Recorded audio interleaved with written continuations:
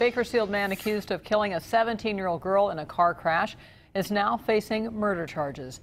Cesar Duarte is facing four felony charges, including second-degree murder and gross vehicular manslaughter while intoxicated in the death of Iman Badia Amin, who is also known as Faith Montoya. Excuse me. She was killed in the November crash when the car she was riding in slammed into a wall on Harris Road and tumbled 150 yards just west of Old River.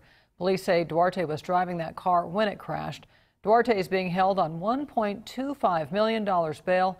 His next hearing is scheduled for May.